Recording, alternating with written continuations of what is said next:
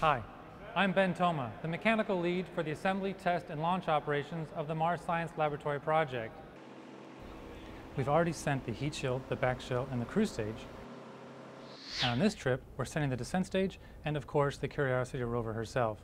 There's an enormous amount of logistics involved in planning such an operation. When you're talking about moving an entire spacecraft, along with all of its support equipment, literally across the country, it takes months and months of planning and weeks and weeks to execute. Curiosity is flipped upside down for its ride to Kennedy Space Center in the same orientation that it'll be for launch. In this orientation, we carefully wrap Curiosity in a big huge bag. That bag acts not only as a Faraday cage, but it, keeps Curiosity clean for her journey to Florida.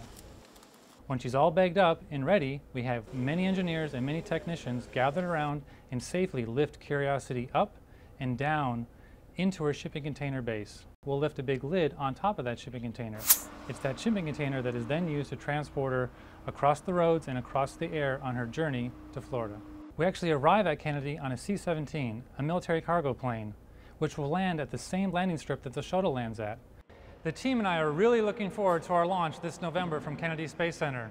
I'm Ben Toma, and this has been your Building Curiosity Update.